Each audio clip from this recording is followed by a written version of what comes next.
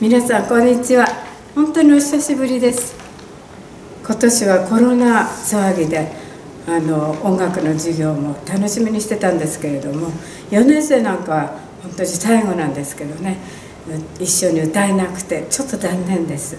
でも早くこのコロナ騒ぎが収まって皆さんと一緒にまたねあの音楽の授業が始まればいいなと思っております。あの本当に皆さん体に気をつけてそれで歌もう歌は本当にそういう健康にはいいですので早く歌える。それを願っていきましょう。皆さん体に気をつけてください。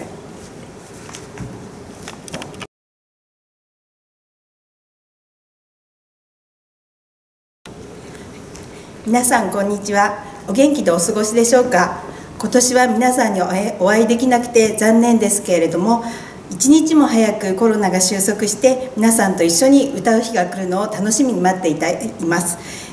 その日まで皆さんどうぞご自愛くださいますようお願いします。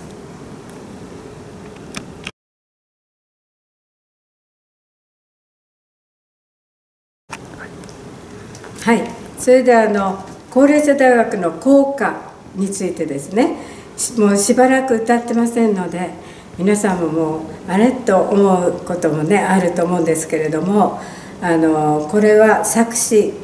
の方それから作曲の先生ね、えー、作曲の奥沢先生っていう方が特にこれ気をつけるのは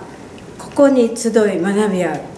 ここっていうところねこれをここにじゃなくてここっていうこれをねとってもあの、えー、注意してくださいっていうことを言ってましたのでこれだけは忘れないでください。